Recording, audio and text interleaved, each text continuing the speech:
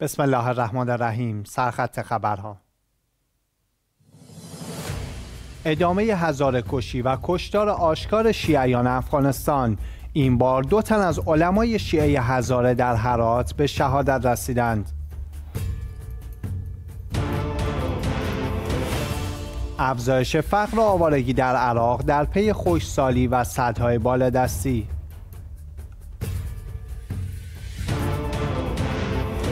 آیت الله لزما شیرازی از گذشته و حال مشهور بین فقها این است که ولایت شرح صحت نماز است. یعنی بدون ولایت نماز صحیح نیست و در این زمینه روایات متعددی هم وارد شده است.